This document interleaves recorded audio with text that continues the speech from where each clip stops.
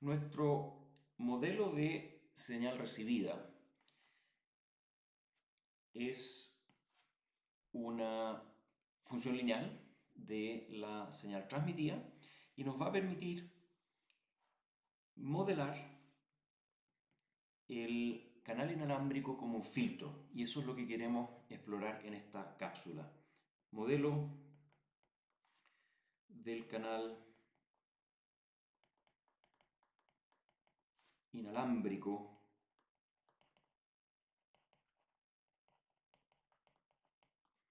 como filtro. Entonces, em, tal vez como introducción nos interesa estudiar el desvanecimiento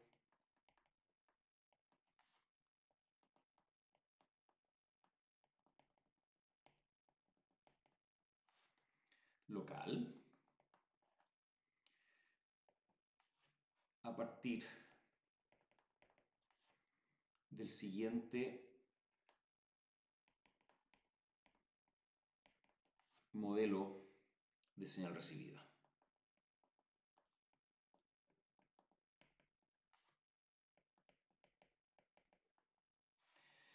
Y este modelo lo voy a copiar de esta ecuación, pero la voy a modificar ligeramente.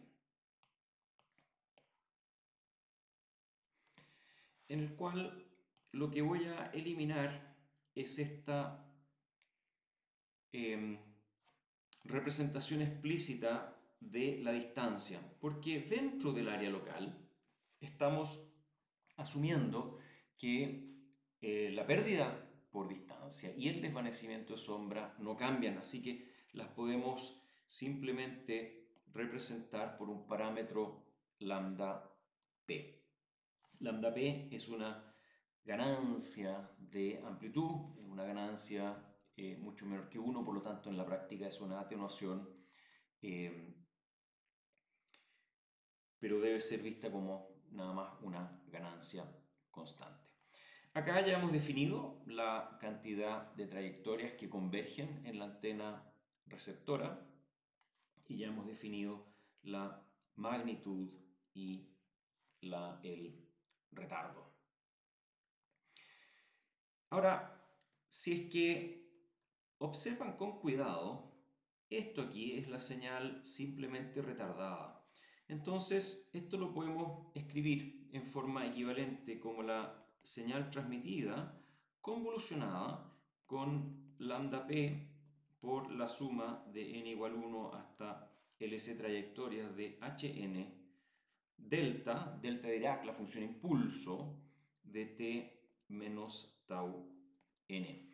Y esta notación es bien interesante porque lo que hace, y aquí voy a volver a nuestro modelo gráfico, separa la señal transmitida como ella convolucionada con todos los efectos del canal para producir una señal recibida.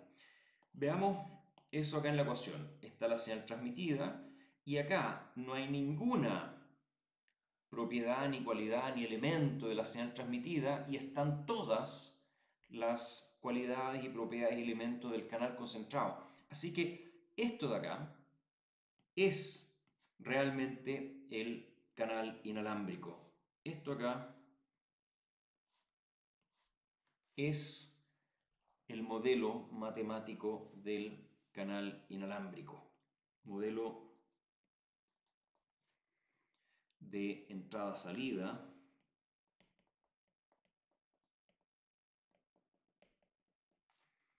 del canal inalámbrico.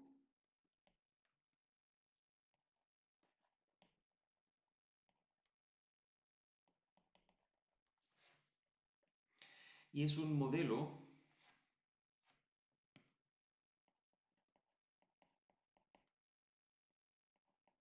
de canal como filtro. Claro, porque sabemos que señales convolucionadas con otras señales es en el fondo la operación de filtrado, entonces nuestra señal transmitida pasa por un filtro que tiene estas propiedades y que tenemos que estudiarlas y definirlas y entenderlas mejor, pero en definitiva el modelo del canal acá es el de un filtro que opera sobre la señal transmitida para producir una señal recibida. Ojo que aquí todavía no hemos incorporado el efecto de ruido térmico, que por supuesto hay que incorporarlo. Esto nada más tiene que ver con la forma en que se modela el tramo inalámbrico entre el transmisor, una serie de trayectorias y el receptor. Y todo lo que ocurre en ese medio de propagación inalámbrica, los rebotes, las dispersiones, las reflexiones y, refracciones, las difracciones, todo ello, el debilitamiento de las señales, el retardo de las señales, todo ello está contenido en este filtro llamado canal a través de este parámetro HN, este parámetro lambda P, esta cantidad de trayectorias LC y este retardo tau. Y por eso es que definimos este, em, esta función,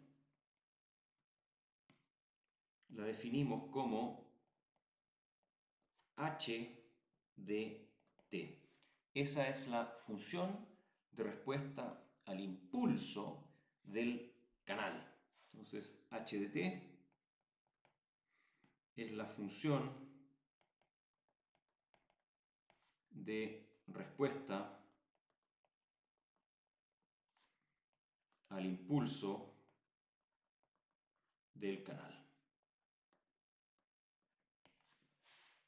Ahora, es muy práctico tener un modelo de canal como filtro porque sabemos trabajar muy bien con filtros y con señales. Entonces, para entender cómo se comporta ese filtro, necesitamos simplemente estudiar muy bien estas propiedades escondidas dentro de estos cuatro parámetros que hemos estado introduciendo.